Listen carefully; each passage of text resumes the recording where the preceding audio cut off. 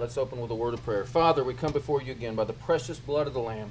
Thank you again for another Shabbat of being able to come together as your people Israel.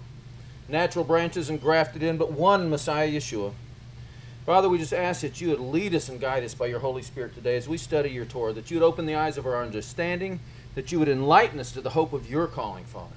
Teach us your ways. We want to know you. We just give you the praise, honor, and glory B'Shem Yeshua Mashiachenu. In the name of Yeshua our Messiah we pray. Amen and amen. Hallelujah. All right. Did everybody read the Torah portion this week? Awesome. The uh, Hebrew, it's called Devarim, and it is actually the Hebrew name of the book of Deuteronomy as well. The first portion is called Devarim, and then the book of Deuteronomy is actually called Devarim also. And we're going to start reading from chapter 1, verse 1. And Devarim means words in Hebrew. So it, it comes, the Torah portion comes from the first phrase, basically. These are the words which Moshe spoke to all Israel on this side of the Jordan, in the wilderness, in the plain opposite Suf, between Paran, Tophel, Laban, Hazeroth, and Dishab it is 11 days' journey from Horeb by the way of Mount Seir to Kadesh Barnea. Now it came to pass in the 40th year, in the 11th month, on the first day of the month, that Moshe spoke to the children of Israel according to all that Yahweh had given him as commandments to them. After he had killed Sihon, king of the Amorites, who dwelt in Heshbon, and Og, king of Bashan, who dwelt in Ashtaroth in Edrei on this side of the Jordan, in the land of Moab, Moshe began to explain this law or this Torah, saying, Yahweh our God spoke to us in Horeb, saying, You have dwelt long enough at this mountain. Turn you and take your journey and go to the mountains of the Amorites, to all the neighboring places in the plain, in the mountains and in the lowland, in the south, and on the seacoast, to the land of the Canaanites, and to Lebanon, as far as the great river, the river Euphrates. Now that's up there quite a ways, so there's a lot of territory we were supposed to take. See, I've set the land before you. Go in and possess the land which Yahweh swore to your fathers, to Abraham, to Isaac, and Yaakov, to give to them and their descendants after them. Skipping to verse 19. So we departed from Horeb and went through all that great and terrible wilderness which you saw on the way to the mountains of the Amorites, as Yahweh our God had commanded us. That's the thing we need to look at and notice when we obey Yahweh, when He commands us things, we are blessed. When we disobey, we're not. Then we came to Kadesh Barnea, and I said to you, You have come to the mountains of the Amorites, which Yahweh our God is giving us. Look, Yahweh your God has set the land before you. Go up and possess it, as Yahweh God of your fathers has spoken to you. Do not fear or be discouraged. And every one of you came near to me and said, Let us send men before us and let them search out the land for us to bring back word to us the way by which we should go up and of the cities into which we shall come. The plan pleased me well, and so I took twelve of your men, one man from each tribe. And they departed and went up into the mountains and came to the valley of Eshcol and spied it out. They also took some of the fruit of the land in their hands and brought it down to us, and they brought back word to us, saying, It is a good land which Yahweh our God is giving us. Now, they should have stopped there, but they went on. Nevertheless, you would not go up, but rebelled against the commandments of Yahweh your God. So that's when you get bad things. When you rebel against Yahweh, it does not bring good fruit. And these things are done for our examples, Paul tells us in 1 Corinthians 10. So we need to take note that we learn from our forefathers' mistakes. And you complained in your tents and said, Because Yahweh hates us, he brought us up out of the land of Egypt to deliver us into the hands of the Amorites to destroy us. Where can we go up? Our brethren have discouraged our hearts, saying, The people are greater and taller than we. The cities are great and fortified up to heaven. Moreover, we have seen the sons of the Anakim here. Then I said to you, Do not be terrified or afraid of them. Yahweh your God, who goes before you, he will fight for you. And that is the key. It's not by might, it's not by power, it's by my spirit, says Yahweh. He is the one that fights for us. We just saw him defeat the greatest army on the face of the earth, the Egyptians. And it wasn't because of our might, it was because of Yahweh. And it wasn't that long afterward that we came up and he wanted us to occupy the land, a couple years. According to all he did for you in Egypt before your eyes, and in the wilderness where you saw how Yahweh your God carried you, as a man carries his son, in all the way that you went until you came to this place. Yet for all that, you did not believe Yahweh your God, who went in the way before you to search out a place for you to pitch your tents, to show you the way which you should go, in the fire by night and in the cloud by day. And Yahweh heard the sound of your words and was angry and took an oath, saying, Surely not one of these men of this evil generation shall see that good land of which I swore to give to your fathers, except Caleb, the son of Jephunneh. He shall see it, and to him and his children I am giving the land on which he walked, because he wholly followed Yahweh. This is not a part time thing, this is completely giving ourselves to Yahweh. We are not our own, we're bought with a price. And we are to wholly follow Yahweh. That's where we're going to see his blessing. Yahweh was angry, also angry with me for your sake, saying, Even you shall not go in there. Yehoshua the son of Nun, who stands before you, he shall go in there. Encourage him, for he shall cause Israel to inherit it. Moreover, your little ones and your children, who you say will be victims, who today have no knowledge of good and evil, they shall go in there. To them I will give it, and they shall possess it. But as for you, turn and take your journey into the wilderness by the way of the Red Sea. So, of the 12 spies, 10 of them didn't believe Yahweh. And every one of them saw the miracles of Egypt and the plagues and the deliverance, the pillar of cloud by day and the fire by night, manna every day, miraculous provision. And yet they thought because the guys were big that Yahweh couldn't deliver them.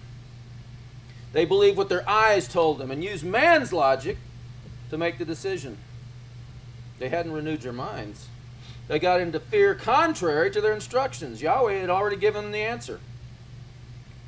And the result was they not only discouraged themselves, but they discouraged almost all of Israel. Only two of them looked past what their eyes told them. Yeah, the guys were big, there was no doubt about it. They were the size of Og. They were at least 13 feet tall. Those are some big guys. You don't want to try to fight them hand to hand. But that's not what Yahweh told them to do. They didn't have to fight the Egyptians hand to hand, did they? They remembered, these two, Joshua and Caleb, remembered what Yahweh had done to the greatest army on earth, the Egyptians, for their sake. They had just seen it. It hadn't been that long ago. They remembered the ten plagues and the parting of the Red Sea. They saw the daily miracles, like we said, of the manna, the pillar of cloud by day, and the fire by night. Now, our portion reveals a principle for success. Every time we fight a battle or a giant, and it's just like Joshua and Caleb understood. Deuteronomy 2, verse 1, it says, We then turned around and made for the desert in the direction of the Sea of Suf, as Yahweh had ordered me. We're following Yahweh's command. That's the thing. For many days we skirted Mount Seir. Yahweh then said to me, You have gone far enough around this mountain. Now turn north and give the people this order. You are about to pass through the territory of your kinsman, the son of Esau, who lived in Seir. They are afraid of you, and you will be well protected. Do not provoke them, for I shall give you none of their land. No, not so much as a foot length of it. I have given the height of the highlands of Seir to Esau as his domain. Pay them in money for what food you eat, and pay them in money for whatever water you drink. Yahweh your God has blessed you in all that you do. He has watched over your journeying through the vast desert. Yahweh your God has been with you these 40 years, and you have never been in want. So we passed beyond those relatives of ours, the children of Esau who lived in Seir, by the road through Arba, Elath, Ezion Geber. Then, changing directions, we took the road towards the plains of Moab. Yahweh then said to me, Do not attack Moab. Do not provoke him to fight, for I shall give you none of his land, since I have given Ar to the children of Lot as their domain. Skipping to verse 24. Uh, uh, on your way, break camp and cross the Wadi Arnon. See, I'm putting Sihon, the Amorite king of Heshbon, at your mercy, and his country too. Set about the conquest, engage him in battle. Today and henceforth I shall fill the people under all heavens with fear and terror of you. Whoever hears word of your approach will tremble and writhe in anguish because of you. Skipping to 31. Yahweh said to me, You see, I am starting to give you Sihon and his country. Begin the conquest by seizing his country. Sihon marched out against us, he and all his people, to give battle at Jahaz. And Yahweh our God handed him over to us. We defeated him and his sons and all his people. We captured all his towns and laid all these towns under the curse of destruction. Men, women, and children, we left no survivors, except the livestock, which we took as our booty, and the spoils of the captured towns. From Aroer to the edge of the Arnon Valley, as from the town down in the valley as far as Gilead, not one town was beyond our reach. Yahweh our God delivered them all to us. You did not, however, go near the country of the Ammonites or of the region of the river of Jabbok, or the towns in the highland, or anywhere forbidden us by Yahweh our God. We had great success. We defeated Og of Bashan, this massive giant. Everywhere we went, we had success because we followed Yahweh's instructions. Now, we didn't just pick arbitrary battles. He told us who to attack and who not to attack, and we obeyed him. And as a result, we always had the victory. If we will follow his lead, we won't fail. We've had attacks like this on our, our family time after time. My wife had a brain tumor at one point early on in our marriage. And Yahweh had just actually healed one of our children. He'd given us a whole list of scriptures to meditate on. Two months before we even knew there was a problem, we were sensitive to his leading. And so we started meditating on these scriptures. And when we found out about this problem with one of our kids, we immediately prayed and we saw, uh, and almost, it wasn't instantly miraculous, just totally, but the next time we went to the doctor, the problem was taken care of. And after seeing this, we prayed for Johanna, and he completely healed her. I mean, time after time, we've seen healings. But it wasn't just because we arbitrarily did something on our own. We listened to his lead, and he showed us what to do. He wants to lead us to victory in everything.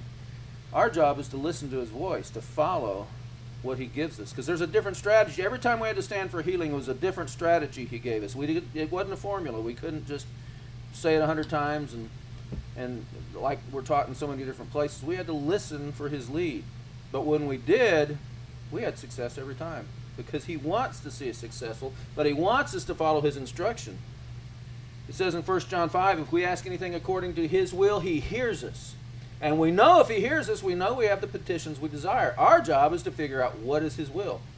It takes time getting on our faces before him, listening to his voice. But if we'll follow his instructions, we'll be victorious every time. Our complete obedience to Yahweh in what battles to fight and what battles not to fight is what gave us the victory. It's what enabled Yahweh to fight on our behalf. See, he wants to help us, and that's what obedience is all about. It it's like plugging a plug into the wall.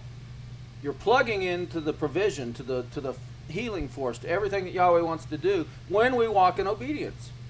Now, if we decide that we want to do things our own way, it's like plugging the plug out of the wall.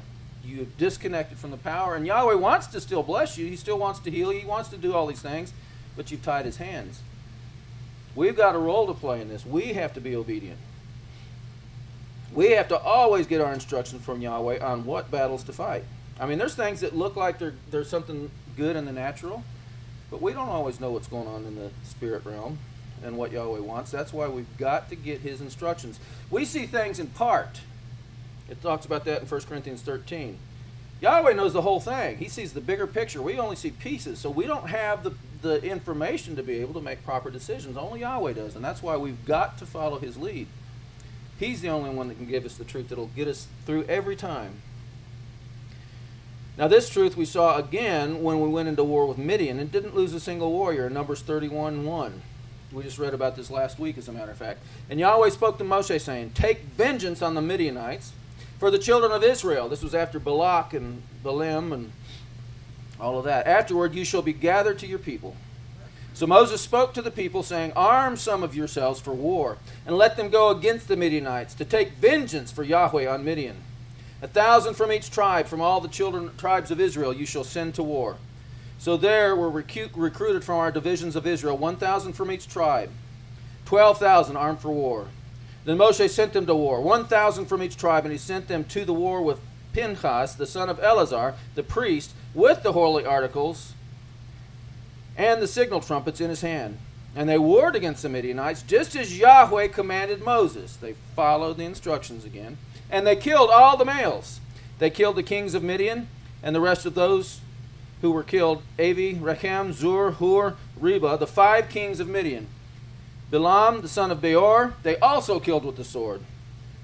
Then the officers who were over thousands of the army and captains over thousands and captains over hundreds came near to Moses. And they said to Moses, Your servants have taken account of the men of war who are under our command, and not a man of us is missing. We didn't lose a single person in this battle. Therefore, we have brought an offering for Yahweh. What every man found of ornaments of gold, armlets and bracelets, and signet rings and earrings and necklaces, to make atonement for ourselves before Yahweh. So Moshe and Eleazar the priest received the gold from them, all the fashioned ornaments, and all the gold and the offering that they had offered to Yahweh from the captains of thousands and captains of hundreds was 16,750 shekels. The men of war had taken spoil, every man for himself. And Moshe and Eleazar the priest received the gold from the captains of thousands and of hundreds and brought it to the tabernacle of meeting as a memorial for the children of Israel before Yahweh. We can give and it can be a memorial. When we are obedient, we acknowledge Yahweh. He, he's protected us, He's delivered us. Proper response is to give. And that is a memorial where He wants to continue to bless us. We show our gratitude. He is faithful.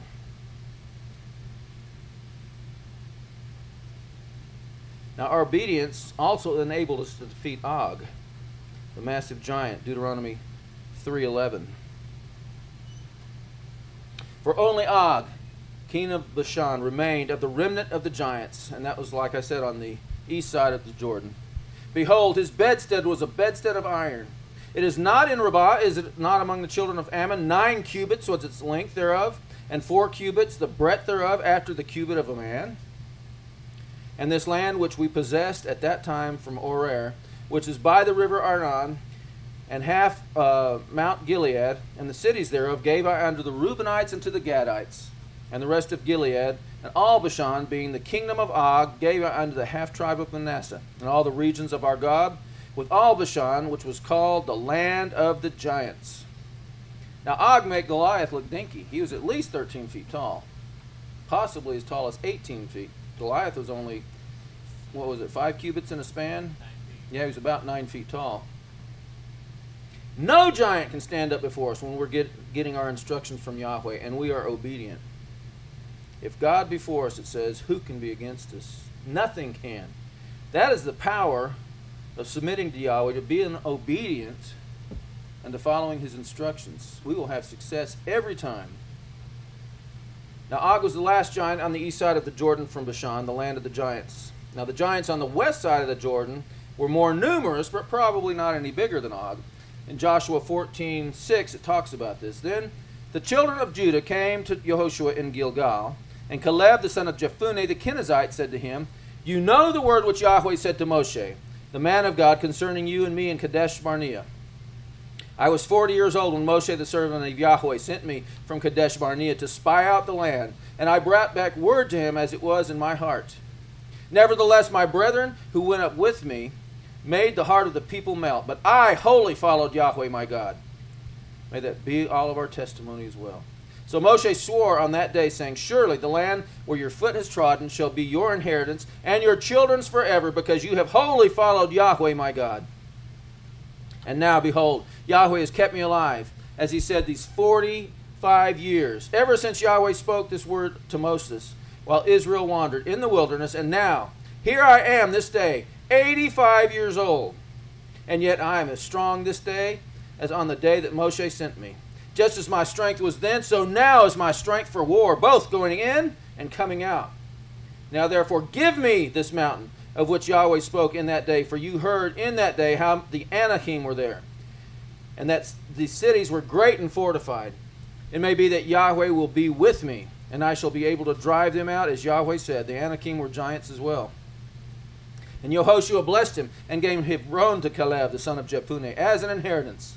Hebron therefore became the inheritance of Caleb the son of Jephunneh the Kenizzite to this day. because he wholly followed Yahweh, God of Israel. And the name of Hebron formerly was Kirjath Arba. Arba was the greatest man among the Anakim. Then the land had rest from war.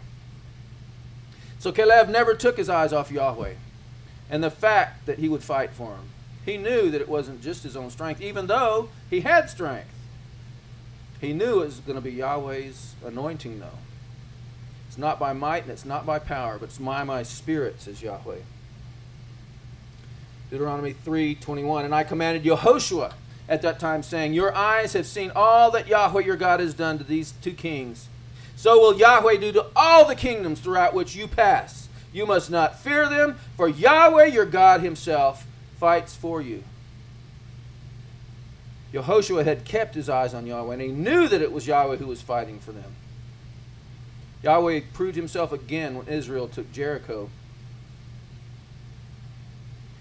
Joshua 6:20 So the people shouted when the priests blew the trumpets. And it happened when the people heard the sound of the trumpet that the people shouted with a great shout and the wall fell down flat. Then the people went up into the city every man straight before him. And they took the city.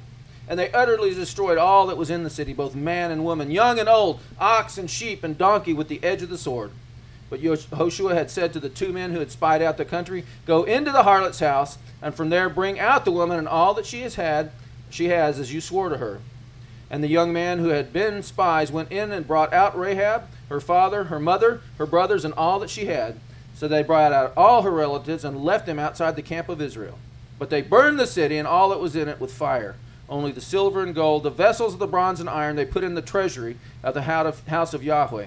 And Jehoshua spared Rahab the harlot, her father's household, and all that she had. So she dwells in Israel to this day, because she had the messengers or hid the messengers whom Yehoshua sent to spy out Jericho. Then Joshua charged them at that time, saying, Cursed be the man before Yahweh who rises up and builds the city Jericho. He shall lay its foundations with his firstborn, and with his youngest he shall set up its gates. So Yahweh was with Joshua, with Yehoshua, and his fame spread throughout all the country. Yehoshua trusted that Yahweh would always fight for him. He followed Yahweh's instructions. He didn't just make up things on his own. He listened to the leading of Yahweh. That was the key. And he completely, he wholeheartedly followed him, just like Caleb did. That's the key, holding nothing back. Joshua 23 9. For Yahweh has driven out from before you great and strong nations. But as for you, no one has been able to stand against you to this day. One man of you shall chase a thousand for Yahweh your God, is he who fights for you, as he promised you.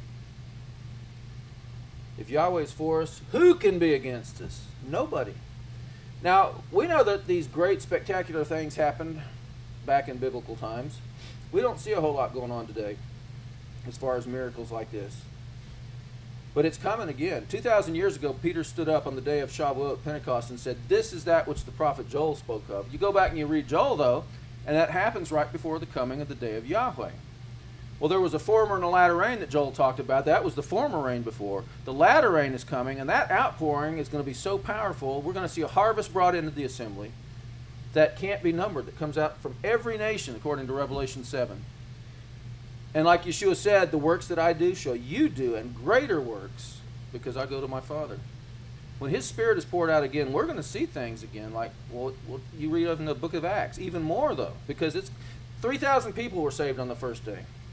There were like 5,000 saved a couple days later. Those are big numbers. But we're talking about a multitude that can't be numbered when His Holy Spirit is poured out again. We've never seen anything like it. And these things are going to happen again if we're listening to His lead and if we're following His instructions, just like we did before. We'll see these things again. Now, Joshua knew he was always able to trust Yahweh, and why is this possible? Well, he saw the things that Yahweh had done. But how do you keep yourself going when you can't see these miracles? You can't see things every day.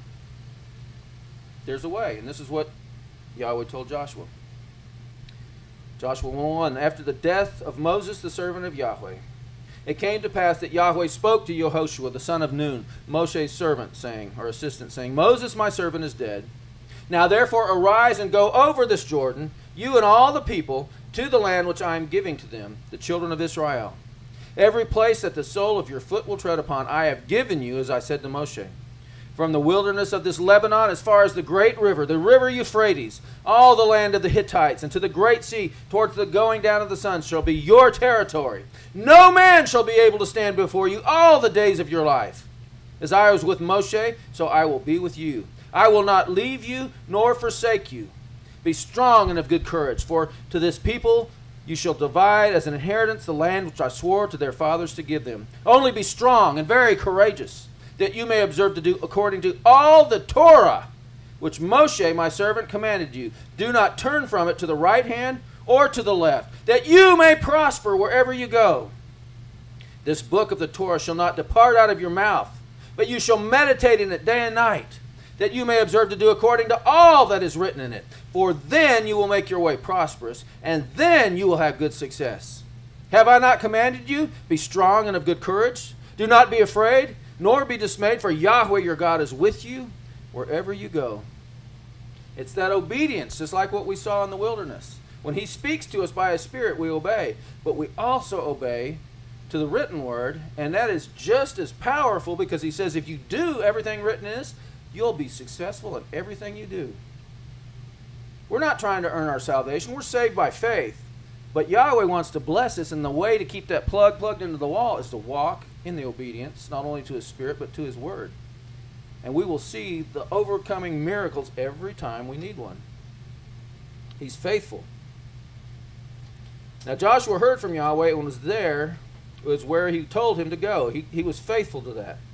He was always obedient. He continued to meditate on Yahweh's Torah. And that's the key that he says, meditate on my Torah. This it won't depart out of your mouth. Part of meditating is speaking it. Reading it, speaking it aloud, memorizing it, speaking it to yourself when you're walking in the way. Because it's powerful. Joshua's obedience kept the door open for Yahweh to continue to bless him. And Joshua wasn't the only one to fight giants. Look at 1 Samuel 17:4.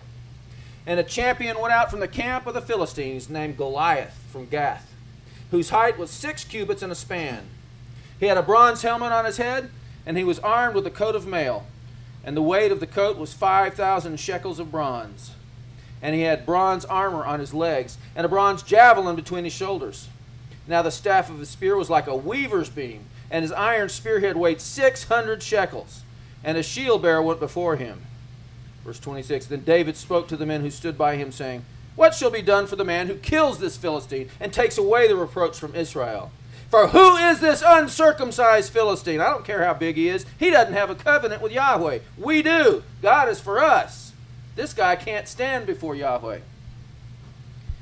That he should defy the armies of the living God. Verse 31. Now, when the words which David spoke were heard, they reported them to Saul, to Shaul, and he sent for him. Then David said to Shaul, Let no man's heart fail because of him. Your servant will go and fight with this Philistine. And Shaul said to David, You're not able to go against this Philistine to fight with him. He's looking through his natural eyes, just like the ten spies. For you are a youth, and he's a man of war from his youth. But David said to Saul, Your servant used to keep his father's sheep. And when a lion or a bear came and took a lamb out of the flock, I went after it and I struck it and delivered the lamb from its mouth. And when it arose against me, I caught it by the beard and struck and killed it. Your servant was, has killed both lion and bear with his bare hands. I think he can handle anything.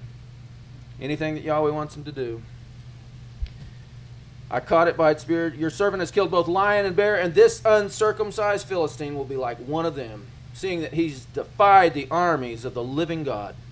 Moreover, David said, Yahweh, who delivered me from the paw of the lion and from the paw of the bear, he will deliver me from the hand of the Philistine. And Shaul said to David, Go, and Yahweh be with you. David knew Yahweh. He knew his faithfulness. He meditated in the Torah day and night. We know that from one of the Psalms that he wrote, the first Psalm, as a matter of fact. He says, Blessed is the man who walks not in the counsel of the ungodly nor stands in the path of sinners, nor sits in the seat of the scornful. But his delight is in the Torah of Yahweh, and in his Torah he meditates day and night. He shall be like a tree planted by the rivers of water that brings forth its fruit in its season, whose leaf also shall not wither, and whatever he does shall prosper. It's the key, meditating in it day and night, muttering it, speaking it, keeping it on your mind. It's Yahweh's thoughts, it's Yahweh's heart. And when we make it ours, we'll have success every time. Now, David and Yehoshua knew what the Torah said. They continued to meditate in it. In Deuteronomy 28, we're told, Now it shall come to pass, if you diligently obey the voice of Yahweh your God, and observe carefully all his commandments which I command you today, that Yahweh your God will set you high above all nations of the earth. And all these blessings shall come upon you and overtake you, because you obey the voice of Yahweh your God, when he leads by his Spirit and from what he's written in his word. Blessed shall you be in the city, and blessed shall you be in the country. Blessed shall be the fruit of your body, and the produce of your ground, and the increase of your herds the increase of your cattle and the offspring of your flocks. Blessed shall be your basket and your kneading bowl. Blessed shall you be when you come in, and blessed shall you be when you go out. Yahweh will cause your enemies to rise against you to be defeated before your face. They shall come out against you one way and flee before you seven ways. Yahweh will command the blessing on you in your storehouses and in all that you have set your hand, and he will bless you in the land which Yahweh your God is giving you. Yahweh will establish you as a holy people to himself just as he swore to you, if you keep the commandments of Yahweh your God and walk in his ways. His Torah is the key. Following the leading of his Spirit is the key. And his Spirit and his Word will always agree. That's how we know we're hearing his voice. Then all people of the earth shall see that you are called by the name of Yahweh, and they shall be afraid of you. And Yahweh will grant you plenty of goods, and the fruit of your body, and the increase of your livestock, and in the produce of your ground and in the land which Yahweh swore to your fathers to give you. Yahweh will open to you his good treasure, the heavens, to give you rain in your land in its season, and to bless all the work of your hands. You shall lend to many nations, you shall not borrow. And Yahweh will make you the head, and not the tail. You shall be above only, and not beneath, if you heed the commandments of Yahweh your God, which I command you today, and are careful to observe them. Obedience brings blessing. I know I talked about how that we've seen miracles in the healing of all our kids, but we tried for three years to have kids when we first got married. We just celebrated our 32nd anniversary, and we couldn't have kids. We got fertility testing done, and the doctors found problems with both me and my wife, and they said basically together, there's not hardly any hope of you guys getting pregnant. My wife goes, well, let's pray about it. And so we prayed, and she was pregnant like almost instantly. And every time she'd have a baby, she'd go back to the doctor and get checked out. He says, Well, you don't have to worry about being pregnant again. There's really no way. Every one of our kids are a miracle. Every one of them. He's blessed us in the fruit of our body. That's part of his blessing, part of walking in obedience. We are the head, we're not the tail. When we walk in obedience, he's going to see that the blessings come on us and overtake us. The giants in our lives are not bigger than Yahweh and his Torah, the blessing that obedience brings. He is faithful and he wants to prove himself faithful. He's not a respecter of persons. We're not anybody special. We just decided we were going to obey a long time ago. And we followed what he led us into, and we've seen blessing after blessing after blessing. We can overcome any giant or circumstance by meditating on his Torah and keeping our eyes on the Torah made flesh, listening to the Master as he leads us in Hebrews 12 1, it says, Therefore we also, since we are surrounded by so great a cloud of witnesses, let us lay aside every weight and the sin which so easily ensnares us. Now notice it's every weight and the sin. It doesn't just have to be a sin. Sometimes things will bog us down that aren't sin, but we still need to lay them aside if they're holding us back. And let us run with endurance the race that is set before us, looking unto Yeshua, the author and the finisher, the perfecter of our faith who, for the joy that was set before him, endured the cross, despising the shame. It's not always going to be fun. But the result was he sat down at the right hand of the throne of God. For consider him who endured such hostility from sinners against himself, lest you become weary and discouraged in your souls. In other words, it's not going to always be easy. We are going to suffer persecution, but just like Yeshua, he's going to bring us through every time. If we're walking, following his lead, and we're walking in obedience. You have not yet resisted the bloodshed, striving against sin. And you have forgotten the exhortation which speaks to you as to sons. My son, do not despise the chastening of Yahweh, nor be discouraged when you are rebuked of him. For whom Yahweh loves, he chastens and scourges every son whom he receives. If you endure chastening, God deals with you as with sons. For what son is there whom a father does not chasten? Sometimes we're going to screw up and we're going to bring some chastisement. But he said, don't be discouraged. He's pruning us, he's bringing us through, he's maturing us, working on our faith. But if you are without chastening, in other words, if everything's always easy, of which all have become partakers, then you are illegitimate and not sons. So if everything's hunky dory, you might examine to see if, hey, am I doing everything all right? Because he didn't promise us a bed of roses. He did say problems are going to come. Many are the afflictions of the righteous, but the Lord delivers them out of them all. That's the key. Furthermore, we have had human fathers who corrected us, and we paid them respect. Shall we not much more readily be in subjection to the Father of spirits and live? For they indeed for a few days chastened us, as seemed best to them, but he for our profit, that we may be partakers of his holiness. Now, no chastening seems to be joyful for the present, but painful. It hurts sometimes. Nevertheless, afterward, it yields the peaceable fruit of righteousness to those who have been trained by it. We're to learn by it. We're not to be like our forefathers and gripe and complain about it. Therefore, strengthen the hands which hang down and the feeble knees and make straight paths for your feet, so that what is lame may not be dislocated, but rather be healed. Pursue peace with all people and holiness, without which no one will see the Lord. We have to keep our eyes on Yeshua and his Torah. We have to keep our eyes on him, especially when we're going through the trials and the tribulations. When we're facing giants, we have to keep our eyes on him, not get our eyes on the problem like the ten spies did.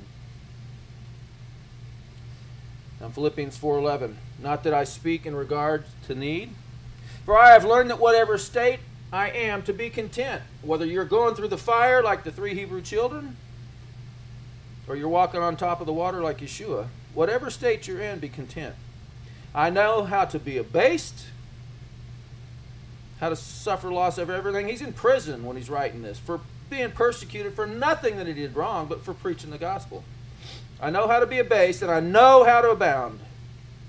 Everywhere and in all things I have learned both to be full and to be hungry, both to abound and to suffer need. I can do all things through Messiah who strengthens me. If we keep our eyes on Him, if we continue to meditate in His Torah and walk and follow His lead, nothing can hold us back. We will make it through everything. Paul understood this fact.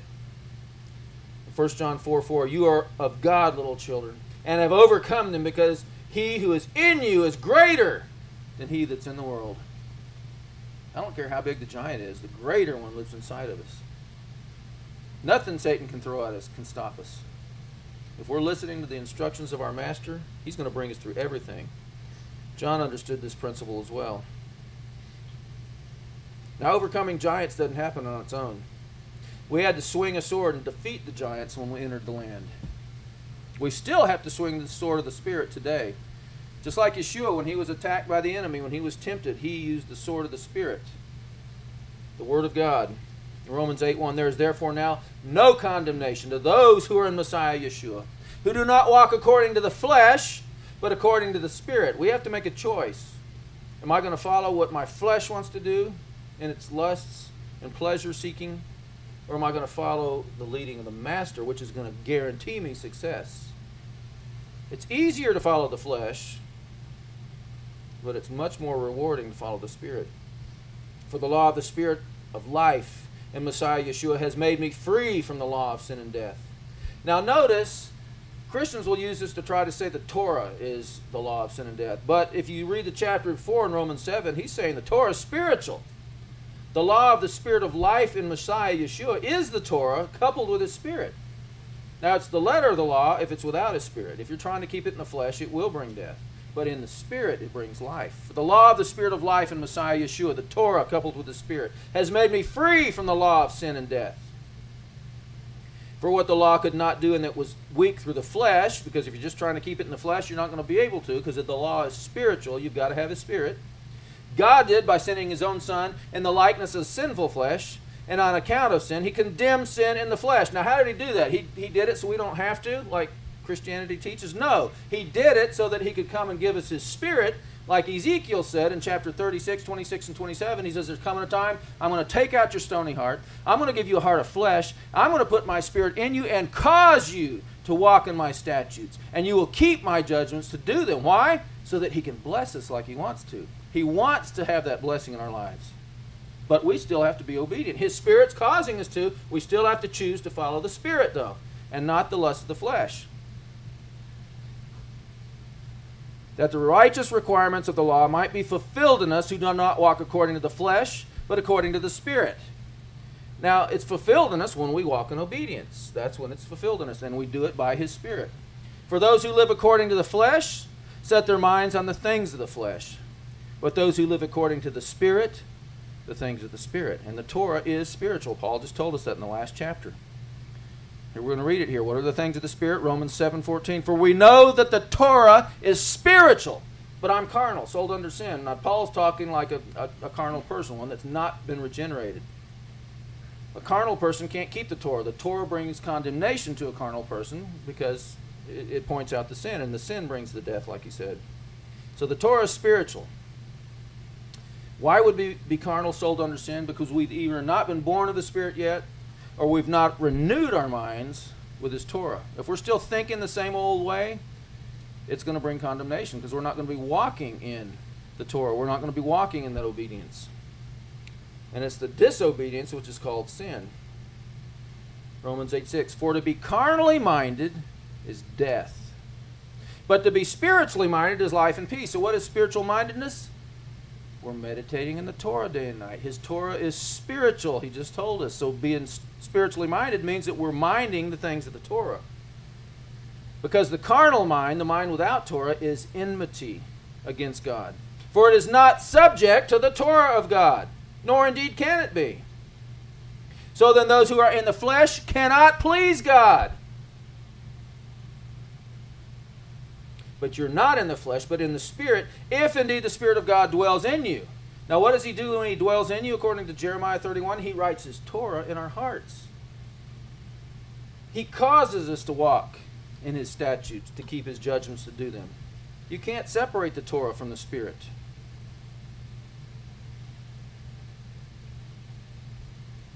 Now, if anyone does not have the Spirit of Messiah, he is not His. And if Messiah is in you, the body is dead because of sin, but the spirit is life because of righteousness. But if the spirit of him who raised Yeshua from the dead dwells in you, he who raised Messiah from the dead will also give life to your mortal bodies through his spirit who dwells in you.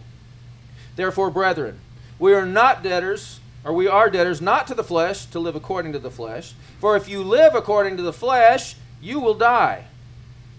But if by the Spirit you put to death the deeds of the body, you will live. For as many as are led by the Spirit of God, these are the sons of God. Remember when Yeshua says, Depart from me, I never knew you? The guys were casting out demons and prophesying in his name in Matthew 7. But they weren't being led by his spirit because his spirit will lead us into Torah. He says, Depart from me, I don't know you, you who are lawless, you who are without Torah, you who hate my Torah, basically. The Torah is his standard. But as we're going to see, it's also his definition of love. For as many as are led by the Spirit of God, these are the sons of God. For you did not receive the spirit of, of bondage again to fear, but you received the spirit of adoption by whom we cry, Abba, Father. The Spirit Himself bears witness with our spirit that we are the children of God. And if children, then heirs. Heirs of God and joint, equal heirs with Messiah if indeed we suffer with him, there again, it's not going to be a bed of roses, that we may be glorified together. If we're walking in obedience, following his lead, we are going to be given the same reward as the Messiah himself. Equal heirs. For I consider that the sufferings of this present time are not worthy to be compared with the glory which shall be revealed in us for the earnest expectation of the creation eagerly waits for the revealing of the sons of God. For the creation was subject to futility, not willingly, but because of him who subjected it in hope. Because the creation itself also will be delivered from the bondage of corruption into the glorious liberty of the children of God. For we know that the whole creation groans and labors with birth pangs together until now. Not only that, but we also have the first fruits of the Spirit. Even we ourselves groan within ourselves, eagerly waiting for the adoption, the redemption of our body. No more aches and pains, but better yet, no more pull towards the things of the flesh. For we are saved in this hope.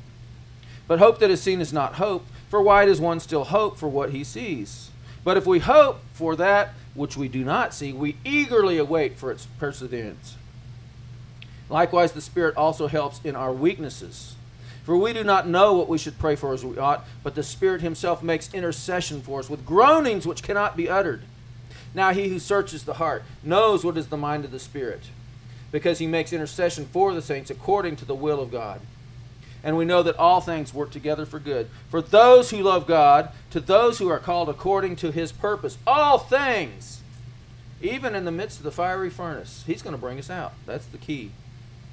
The tribulations aren't going to be fun, but they're going to all work together for our good. If we keep our eyes on him and keep following his lead, we're going to make it through everything. For whom he foreknew, he also predestined to be conformed to the image of his Son, that he might be the firstborn among many brethren. Moreover, whom he predestined, these he also called. Whom he called, these he also justified. Whom he justified, these he also glorified. It's a done deal with God. That's what I'm saying. Let's look at one another the way that he sees us. What then shall we say to these things? If God is for us, who can be against us? He who did not spare his own son, but delivered him up for us, how shall he not with him also freely give us all things? Who shall bring a charge against God's elect? It is God who justifies. Who is he who condemns? It is Messiah who died, and furthermore is also risen, who is even at the right hand of God, who also makes intercession for us. Who shall separate us from the love of Messiah? Shall tribulation? And the answer is obviously no. Or distress? or persecution, or famine, or nakedness, or peril, or sword. As it is written, For your sake we are killed all day long. We are counted as sheep for the slaughter. Yet in all these things we are more than conquerors through him who loved us. For I am persuaded that neither death, nor life, nor angels, nor principalities, nor powers, nor things present, nor things to come, nor height, nor depth, nor any other created thing shall be able to separate us from the love of God which is in Messiah Yeshua our Lord. Now we have to choose to walk after the Spirit and not after the lust of the flesh. And part of how we do that is by renewing our minds, just like he told Joshua, meditating in his Torah day and night. We do it by being obedient to his Torah. And he points it out here in Deuteronomy 30, where he sets before us life and blessing. Verse 8 And you will again obey the voice of Yahweh, and do all his commandments which I command you today. Yahweh your God will make you abound in all the work of your hand, in the fruit of your body, in the increase of your livestock, and in the produce of your land for good. For Yahweh will again rejoice over you for good as he rejoiced over your fathers, if you obey the voice of Yahweh your God and keep his commandments and his statutes which are written in this book of the Torah, and if you turn to Yahweh your God with all your heart and all your soul, just like Joshua and Caleb did.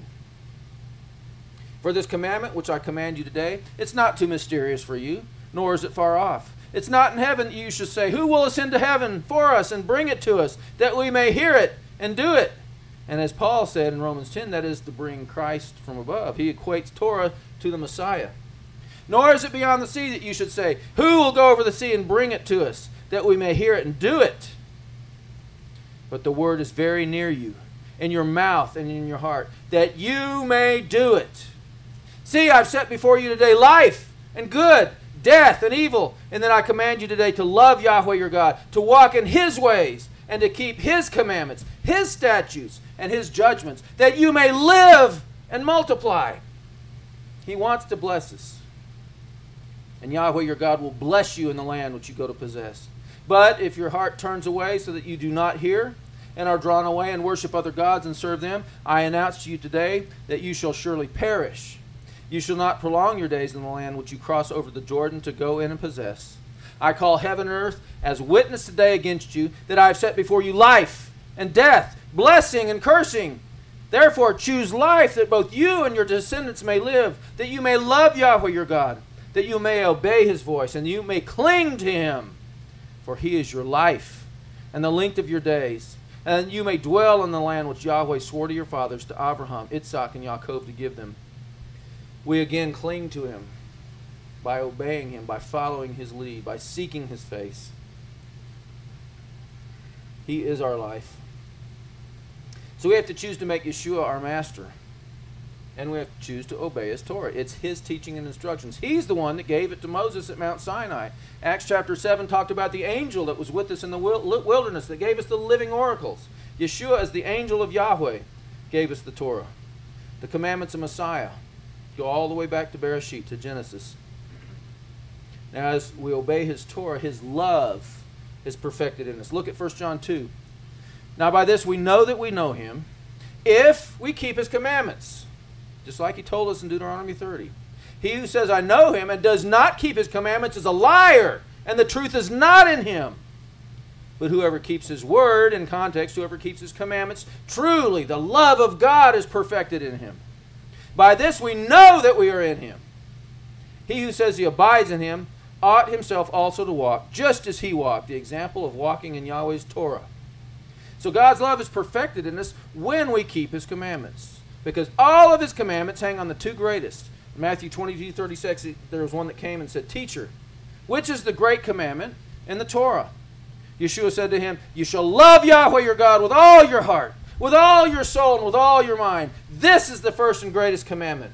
And the second is like it. You shall love your neighbor as yourself. On these two commandments hang all the law and the prophets. The rest of it are the details on how to do the two greatest. How do we love Yahweh? We keep his commandments. He says to have a holy convocation on Shabbat, we come and we do that. He says to have a holy convocation at Sukkot, we, we do that. We follow his commandments, and that's how we are loving Yahweh, by his definition of how to love. Now, if you throw away Yahweh's Torah, you can no longer love by his definition which is what happens to those guys in Matthew chapter 7.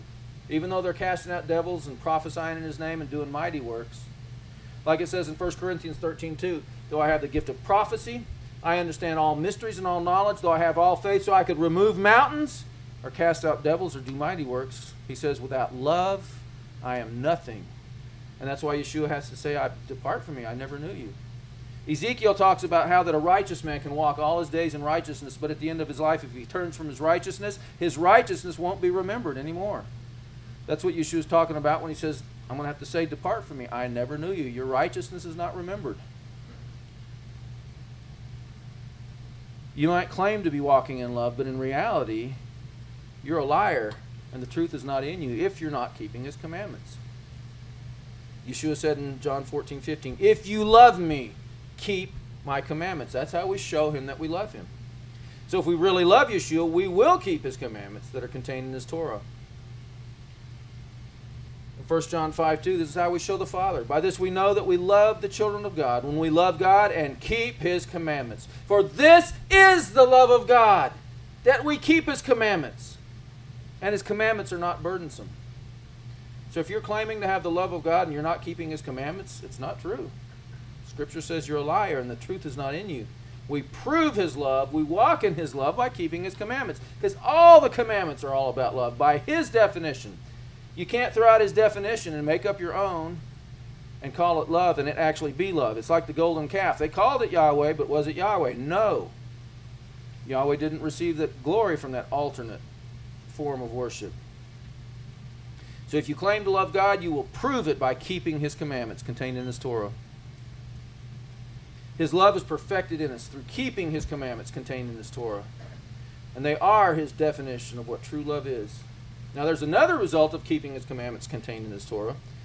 1 John 4:18 says there is no fear in love, but perfect love casts out fear, because fear involves torment.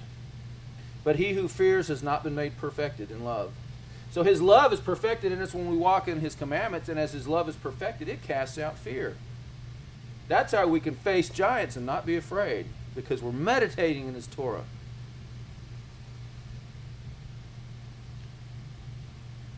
Fear is driven out. This is how we can slay every giant. This is how we can choose to be encouragers of Israel and not discouragers like the ten spies. We can be like Joshua and Caleb and encourage those. This is how we choose life, like he said in Deuteronomy 30. Let's pray. Father, we just come before you again by the precious blood of the Lamb. What an honor it is to learn your ways, to walk in your light, in the light of your Spirit that leads us into your Torah. Because of Yeshua, our Messiah, and his shed blood. We thank you, Father, for your Torah made flesh. In the beginning was the Word, the Word was with God, and the Word was God, and the Word was made flesh and dwelt among us. Thank you, Father, for the gift of your Son, the living Torah. Continue to open our eyes to your Torah. Continue to enlighten our hearts to love and fear your name. Father, you've made us a kingdom of priests. I thank you for the blessing on your people Israel.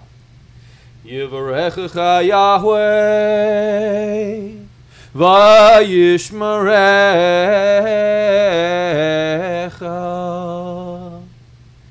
Ya'er Yahweh panav elecha, v'hunecha.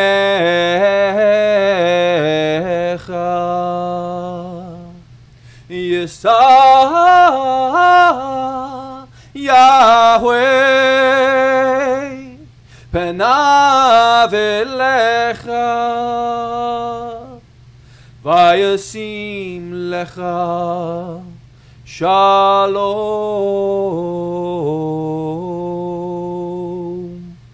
May Yahweh bless you and keep you. May Yahweh make his face to shine upon you and be gracious to you. May Yahweh lift up his countenance towards you and give you his peace, his shalom. In the name of Yeshua our Messiah we pray. Amen and amen. We are dismissed.